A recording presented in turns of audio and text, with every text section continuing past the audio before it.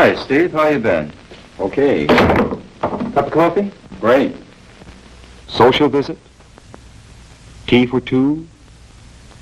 Not exactly. This is a well-planned meeting between two acquainted agents, courier and cutout. The place, a censored town in enemy area. The purpose, a special operation.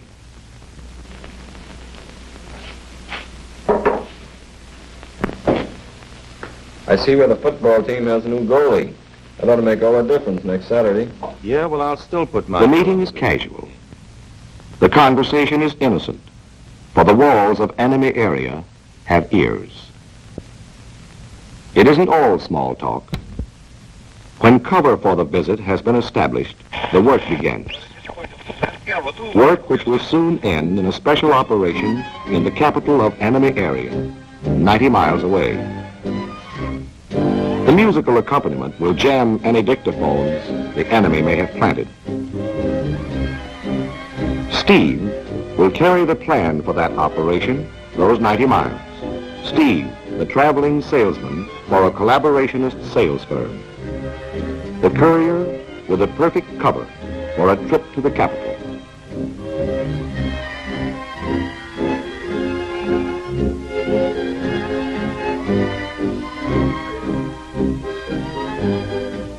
Microfilm under a phony callus.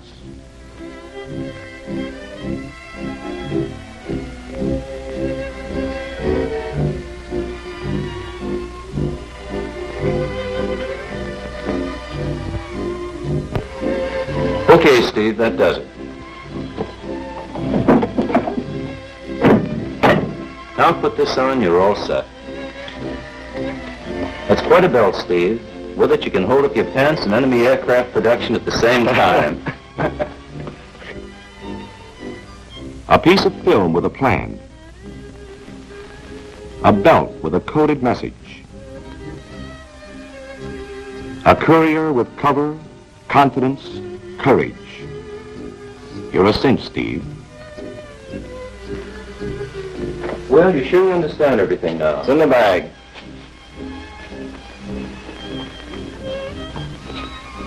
Well, so long. Good luck to you. See you on the way back.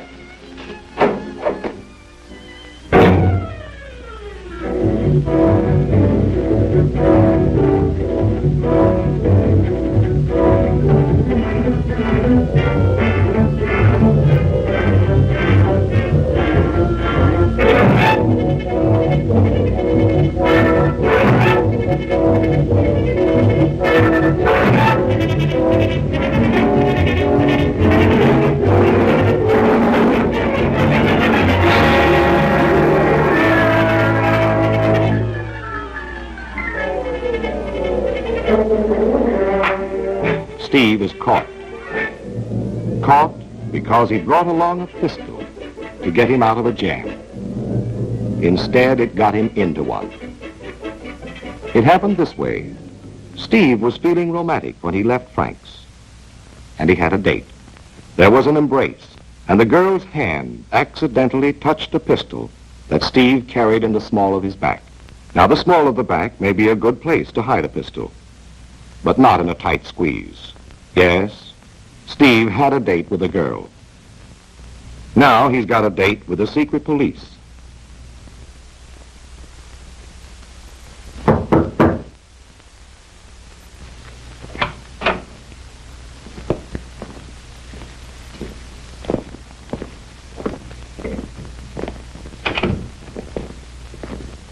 Well, Steve, this is it. This is where Frank's handiwork gets the acid test. All right, strip. Quickly, please.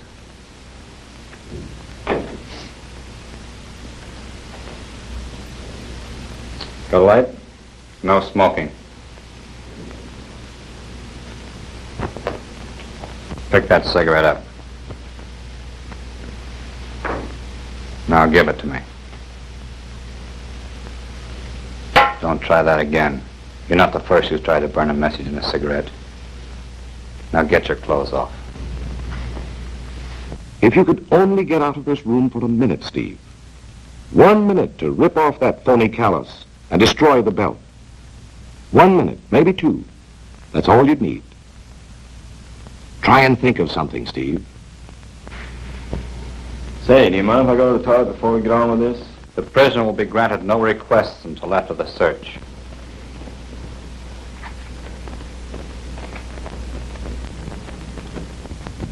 Tough luck. But you see, the enemy knows the more important a piece of evidence is to you, the more important it is to them. And they don't want that evidence flushed down a toilet. Still think you have a chance, Steve? Yeah. I still have a chance. Frank did a good job. Poor Steve. You're in for a blow. You're going to find that in enemy area, when a man's under definite suspicion, searches are thorough and complete. And when a man tips his hand as you did, carrying a concealed weapon, they become bloodless autopsies. Enough.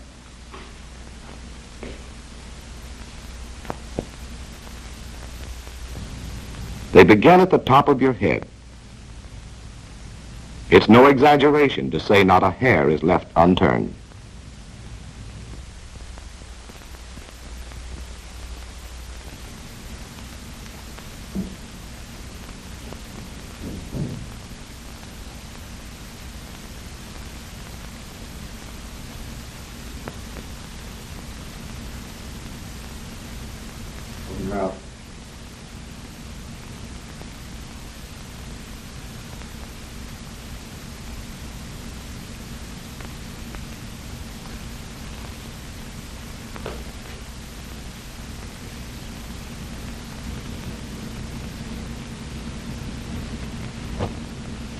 Yeah, doctor.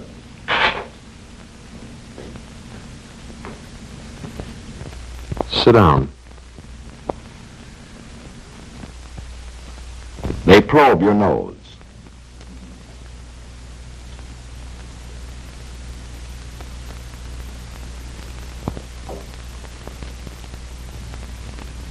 They pry into your ears.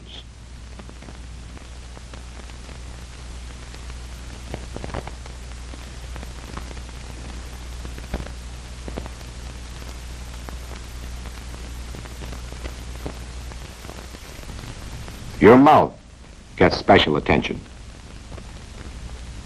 Good investigators know that teeth make good hiding places, and they're as efficient as a dentist tailing a cavity. Later, if they're still suspecting, they may remove your fillings and bridge work.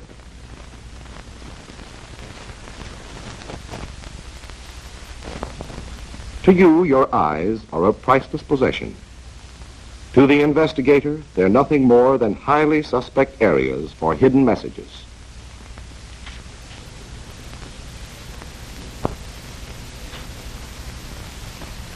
Your entire body is scrutinized, inch by inch. Fingernails. Skin. Navel.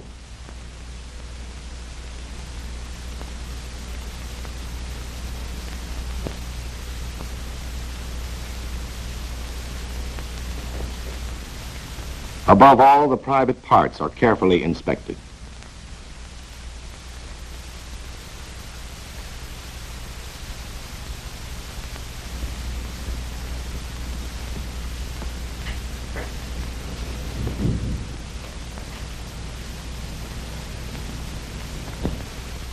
That's all.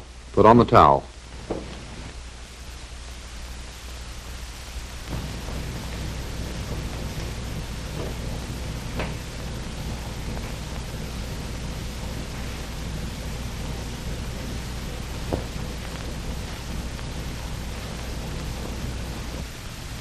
They're getting warm, Steve.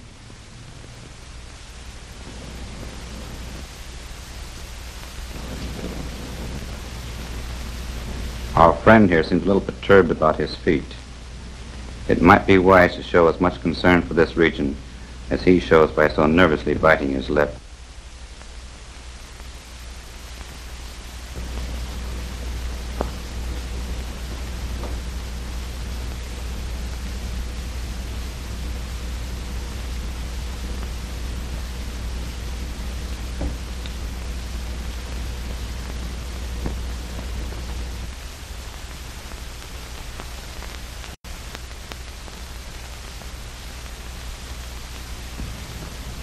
Well, Steve, if you'll pardon a cruel joke, you really put your foot in it that time. You should have known that if you don't watch your reactions, the enemy will. An attitude consistent with your cover, indignation, resigned dignity, or willing collaboration might have saved you.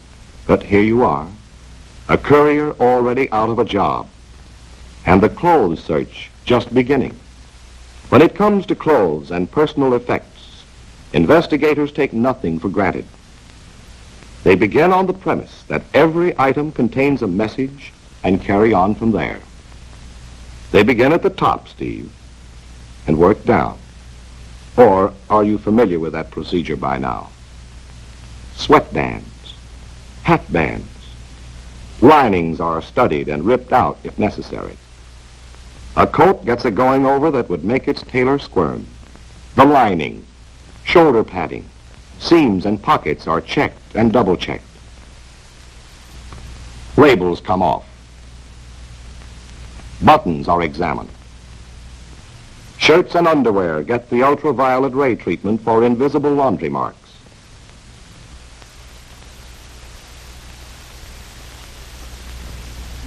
Is checked against the possibility of writing coded messages on thread. Shoes are potential gold mines of evidence. Gold mines soon assayed. The space between the sole, the hollows of the heels, the canvas lining under the tongue, and the shoelace tips are all searched. Yes, Steve? The places for concealment were infinite. But the investigators were infinitely patient. And how about your effects, Steve? Will they stand up as well as your clothes? Again, each article is considered suspicious until its innocence has been proved. When the naked eye fails, magnifying glasses and microscopes take over, searching for pinpricks and markings containing coded messages. No area is too small or too insignificant for the investigator's attention.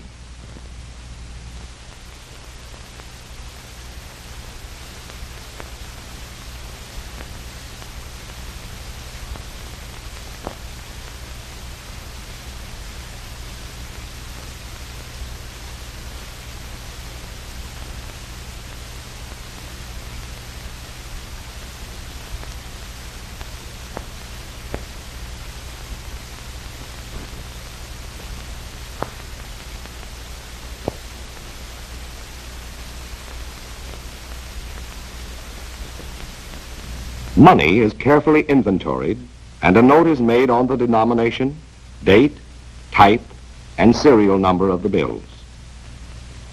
Your number is up today, Steve. Thanks to this detail, Frank's may be up tomorrow.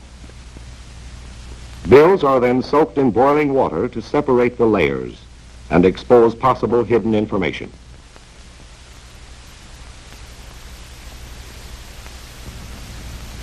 When the mind suspects, chemicals can prove or disprove. Papers get the iodine fumes test for secret ink. Before the search is over, everything, including your body, may get the same treatment.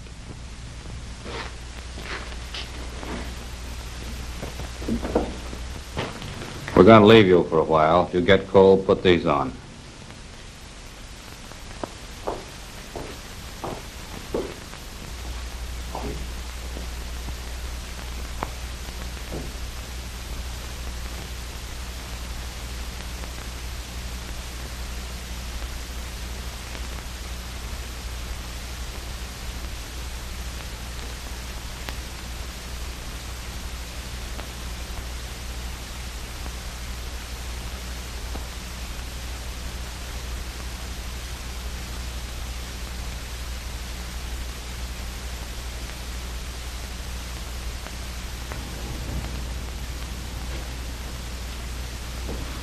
Orderly, Yes, sir. has the dossier on the prisoner been assembled yet? Yes, sir. Good. Be careful to record all of his actions during this period. Yes, sir. We have a complete transcript of the prisoner's actions since he entered the room.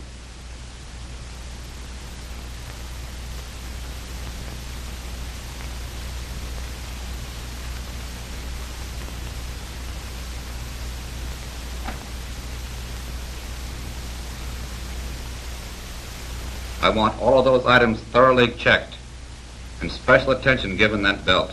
Very good, sir.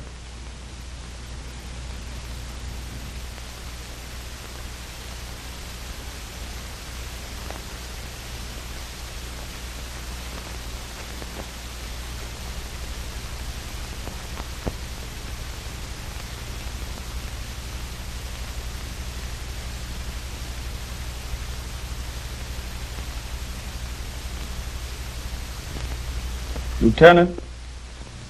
Splendid. I knew we'd find something. Good work, Franz. So you thought it was easy carrying a message, eh, Steve? Not with this enemy. It takes more than courage and confidence to operate in enemy area. It takes cover. Cover which you blew by your conspicuousness. Orderly, bring the prisoner to the interrogation room. Instead of hopelessly walking toward the interrogation room, you could be walking the streets in freedom.